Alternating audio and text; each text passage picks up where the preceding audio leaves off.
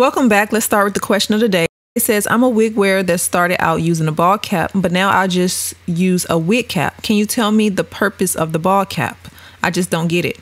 So, if you are using a bald cap, it's because you want that scalp appearance underneath your wig. It's supposed to give a bald look um, just like if you didn't have any hair, which gives a more realistic scalp look to your wig. So that's why a lot of people like to wear it. Um, today's video will go into detail on how I do mine a little bit. But if you have any more questions, you all feel free to leave them below. I will either answer them in a video or directly. And I appreciate you guys' feedbacks and questions. The wig in today's video comes from Pretty Lux Hair. It will be linked in the description box. Today's wig install is a full lace. We'll get into that in a second. So I actually wanted to share with you all this premium quality HD wig cap that comes from Wig Dealer. This cap is actually an HD cap. If you are familiar with the bald cap method, you know that normally you would use a wig cap, which is a bit thicker. This one is thinner. And unlike the last one I used in my previous video, this one is really different. You can feel the thinness. And of course, as you guys see the video, you'll see how I install. Today's install, I will be using the Kiss Lace Bond Adhesive Spray. This is the 10 times hold. I did a full review on this if you want to check it out. I'm going to go ahead and apply that bald cap over top and then use that spray. And then once it's dry I'm going to get rid of the extra cap. As you can see it is very thin now I recently did a updated bald cap method, very detailed video. If you want to see more details on how I do that, you can check out that previous video. All right, so this is what this wig looked like. It does not come in this color. I colored this wig to look like this. It does come in a natural black. Um, so whatever you see on the website is what it's going to look like. This is a full lace wig. As you can see, it has combs, adjustable straps. So if you don't want to wear it with glue, you have the option to wear this cap glueless. I have already bleach the knots in the front as you can also see. So I'm gonna go ahead and get rid of this extra cap around the back. Full lace wig is very versatile. You should be able to pull it up into a high ponytail. However, with my cap, it's bigger than what it needs to be. So I will not be pulling it up. But if you wanted to, you absolutely could. All right, so let's start off by pushing this hairline back. And I'm using my wax stick. This is the She Is Bomb wax stick. I use this to help the hairline just look nice and put together and neat. Um, and then I'm going to make sure that the tab areas are fitting around the ear properly. Now these small scissors that I'm using do come from Wig Dealer. I will put their link in the description box if you guys want them. They are actually really good compared to the bigger ones. They get the job done very well.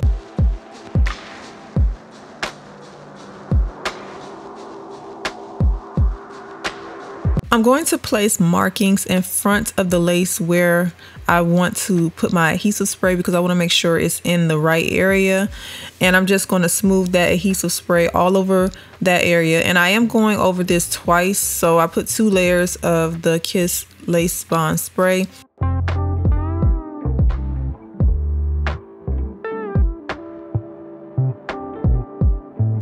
Once that is tacky, I'm going to take the lace and press it down over top of the adhesive. And I'm using a little spatula to do this.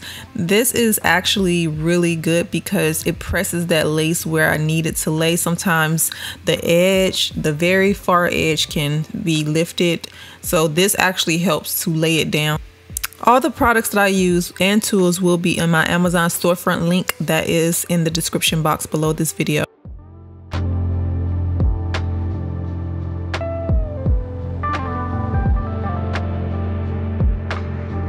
All right, next I'm gonna tie down the hairline for at least 15 minutes.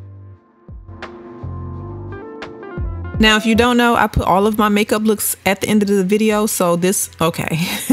at the end of this video, you can find the tutorial on how I created this makeup. So I'm just going to adjust the strap in the back and go ahead and tighten it. I did not tighten it prior to gluing it down because I wanted to see if me tightening and then loosening it later is causing the lace to ripple. So I wanted to install the wig this time without the adjustable strap in the back tighten. Um, and I think they actually worked out pretty well. I'm gonna go ahead and set my parting. This hair is absolutely gorgeous. The hairline looks so good. And this spray is everything. When I tell you, I have not touched my Ebin sprays. This Kiss spray is amazing. So I'm just pushing back the hairline and as you can see it's very clean. There's no like hair stuck. There's no white residue. Sometimes if you see a red line around my hairline it's because I use that sleigh band to you know sit on that hairline so I'm light skin is gonna be like that. I get redness from anything. So I'm gonna just take my dryer and blow out the hair, get it nice and straight. It it gives really good texture when you use a dryer like this and it's so much better than a flat iron i don't know when the last time i used a flat iron on any of my wigs um, this dryer is everything i love how it gives texture and it just smooths the hair really good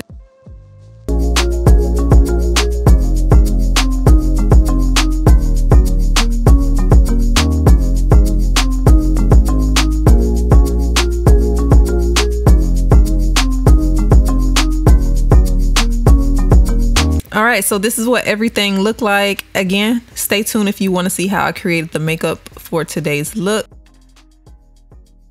So I did want to give you all a quick style. I'm going to grab some of these teeny rubber bands and I like these because they do not um, get stuck in the hair. But this is what the parting is like on a full lace wig. You can part it anywhere you want. You can even do a parting all the way down the back if you choose to. Like I said, I'm not styling the back today just because the cap is a bit bigger. So if you get a full lace wig, you want to make sure the cap is fitted to your head size. Keeping it simple, I'm to add two ponytails at the top. And I love the way the style turned out. It is so, so pretty. Um, and like I said, the parting, I did bleach the knot. So as you can see, it looks like scalp. Again, this wig will be linked below in the description box. Be sure to check down there. I will also put a discount code for you all. So yeah, as you can see, this turned out really pretty. This wig is so gorgeous. It is 100% human hair, of course. And as you see, I did color it so it can take color very well and it still looks good as far as the quality. I'm just gonna take a strand of hair on each of um, these ponytails and just wrap it around that band so that it won't show. But yeah, you guys definitely drop me some comments and let me know what you think about today's wig install. I absolutely love how natural it looked. Um, I did not add baby hairs to today's look because I just wanted you all to see what this hairline is like. Um, and it's so gorgeous. But probably later on I will. but yeah, this is the finished look. Remember to stay tuned if you want to see how I created my makeup.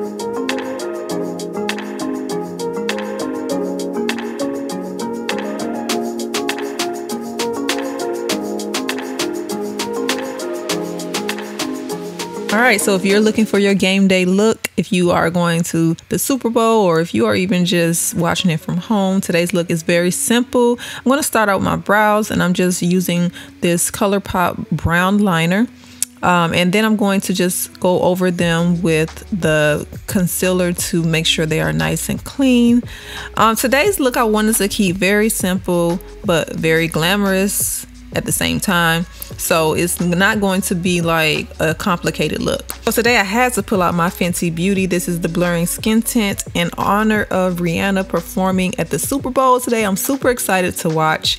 So I have not used this in a while and this is actually just a blurring skin tint in the color, I believe this is the color 12 and I use my brush to apply it. I wanted to wear something if I'm going to be, you know, just enjoying a day at the house. I want to look good, but I don't want my foundation to feel like foundation. So this is great for that. It feels good on the skin.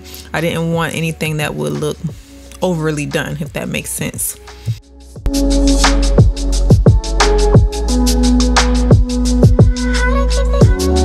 Then I'm going to take my beauty blender and just make sure everything is blended. All right, a little throwback. Who remembers when Rihanna collection was in MAC? Look, I still have my collection from it. Of course, I'm not going to use this because it's super old, but it shows how far Rihanna has came over the years. And I just remember this being the thing back in the day. All right, so let's jump into the eyeshadow. I'm taking my Morphe palette, and this is the palette I will be using for today's look. I'm just applying a brown in the crease, and then I'm going into the Morphe palette with this darker brown right at the outer lid. And that's going to give like a slightly smoke look to this eyeshadow. And then I'm going to take a blending brush and blend those colors together, making sure there's no harsh lines. For today's lid, I'm using this pale yellow over top of the lid. I'm applying this color first and then I'm going to go in uh, with that shimmer right over top and it's so pretty. Now I pressed this. I didn't use anything like wetting my brush. I didn't do any of that but you can. But this is so pretty on the lid. And then I'm taking in the inner corners this shimmer whites just to make the inner corners pop a bit now I did my under eye concealer and I set my face with the translucent powder and also just some regular foundation powder I'm going around to add color back. I went into detail in my last um, makeup tutorial so I didn't go too much into detail now. For the lower lash line I'm adding a brown liner and then I'm going to go over that with a brown eyeshadow and just smoke it out a bit. For my lips, I am going to also use a brown liner absolutely lo love the way this look turned out. It's so pretty. Um, I will be sure to link some of these products on my Amazon storefronts and I will probably post this look over on TikTok. This gloss is in the color Madeline. I hope you guys enjoyed today's video. Thank you all so much for watching. I will see you back in my next video. Mwah.